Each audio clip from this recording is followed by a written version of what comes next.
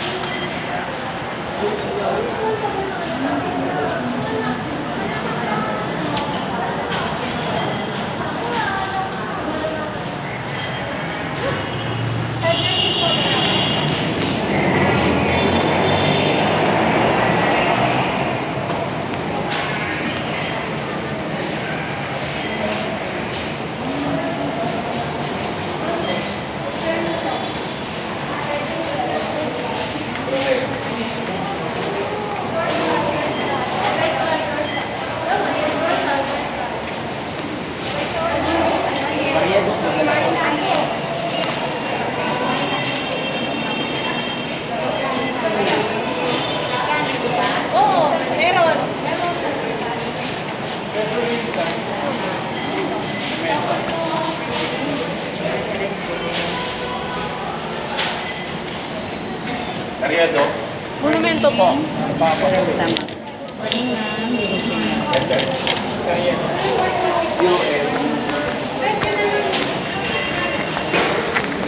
guys, nandito ako ngayon sa LRT.